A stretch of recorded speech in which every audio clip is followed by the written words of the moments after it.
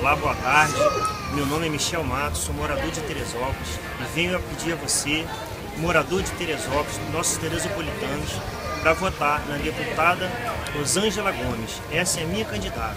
Eu tenho certeza que ela, como ficha limpa, mulher honesta, mulher de fibra, tem muito a fazer para nossa cidade, pela cidade de Teresópolis. Rosângela Gomes, minha deputada.